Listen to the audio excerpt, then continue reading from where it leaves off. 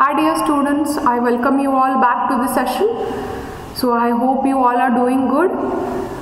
So in the last session we discussed on various techniques of testing in the black box testing and we discussed integration testing. So today's session we will discuss on system testing. So system testing is defined as the testing phase conducted on the completing of integration testing okay? So once you complete your integration of all the modules and do the integration testing so then only you move on to the system testing okay? So with this system integration testing so what you do is you evaluate the system's compliance with the specified requirements on functional and non-functional aspects so basically the system testing is done after the unit, component and integration testing phases. So testing, uh, system testing is the only phase of testing which tests the both functional and non-functional aspects of the product. So on the functional side, the system testing focuses on the real life customer usage of the product and the solution. So system testing simulates the customer deployments for general purpose products.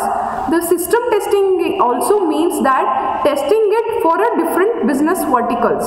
So your application may be developed on insurance or it can be a banking application or it can be a asset management uh, application. So on the non-functional side, system brings in a different testing types, okay.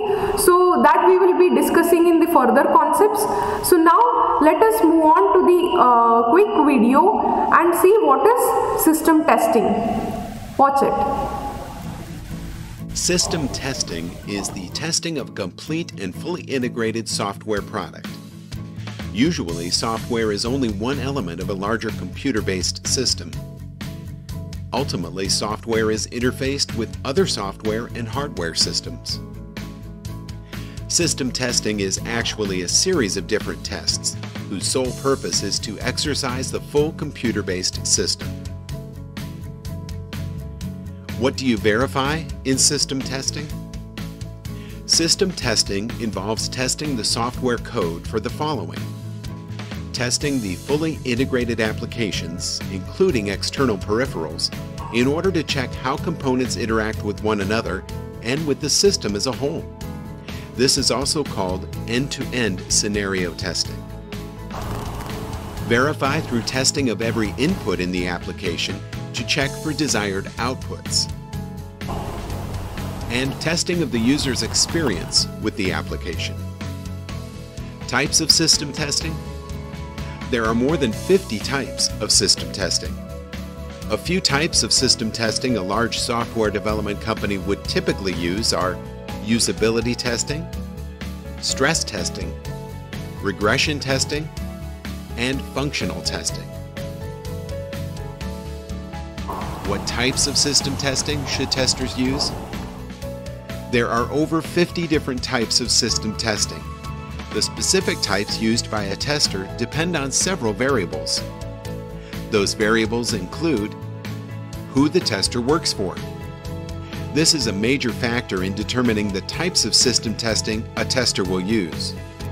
Methods used by large companies are different than those used by medium and small companies.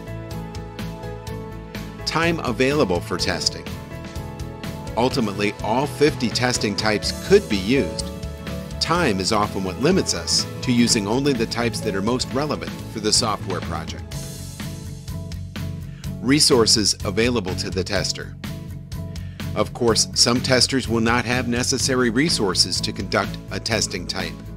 For example, if you are a tester working for a large software development firm, you are likely to have expensive automated testing software not available to others. Software Testers Education There is a certain learning curve for each type of software testing available. To use some of the software involved, a tester has to learn how to use it. And testing budget. Money becomes a factor not just for smaller companies and individual software developers, but large companies as well. That's all to system testing. So I hope you all have understood what is system testing now. So in the next session we will learn what is system testing on the non-functional side. Thank you students.